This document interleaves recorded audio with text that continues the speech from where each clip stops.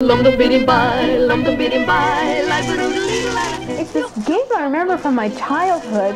There were a lot of ivory tiles involved that were very noisy. It was imported from China, and somehow it wound up in the family rooms of suburban Jewish women. I guess we thought that probably in the White House they were playing mahjong on Friday at 7:30. You know, who knows?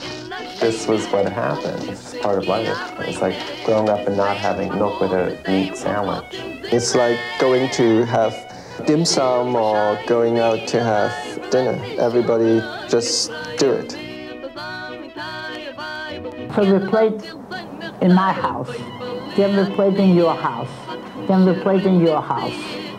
And uh, then we started again. The hostess would then take out her mahjong set, which they all carried around in these little cases that looked like clarinet cases or machine guns, you know. They would open out and throw all this stuff on the table. It was like the upper line of harmony in some music, the high notes. You know, you could hear the cluck of the mahjong tiles as you walked along street level. When someone wins, one voice would scream mahjong, and then immediately following, it would be like a big oh or a big like yeah. They would play until about 2 o'clock in the morning, and then afterwards, they would get into one car and they would go to Nathan's in Coney Island for Frankfurters. Where else can you have so much fun for three or five dollars, have friends, coffee and cake, and a night out? No place.